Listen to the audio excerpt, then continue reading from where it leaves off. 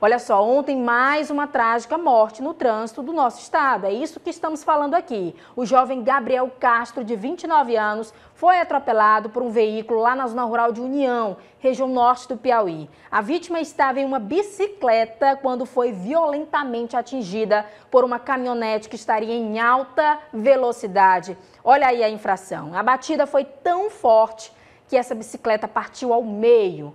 A Polícia Militar da região atendeu a ocorrência, mas não encontrou o motorista que, segundo populares, fugiu do local sem prestar o devido socorro. Esse jovem morava aqui em Teresina, mas tinha família na cidade de União. Ele estudava enfermagem. No momento do acidente, Gabriel estaria na companhia de outras pessoas.